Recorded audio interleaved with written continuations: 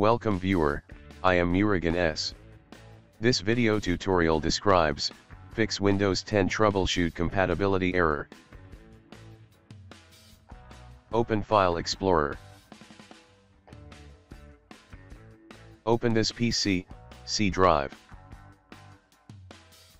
Create new folder named as temp.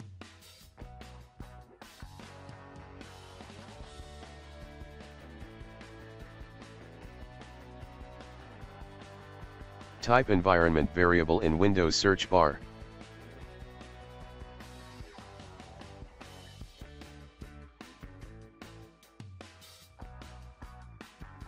Click Edit the system environment variables. Click Environment Variables. Open temp and tmp change to C colon backslash temp.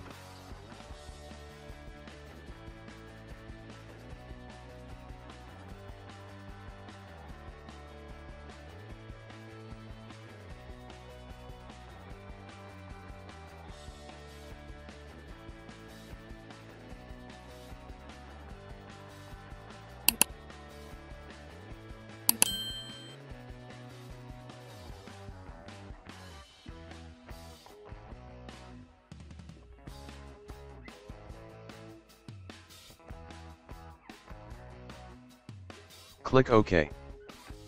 Click OK. Restart system.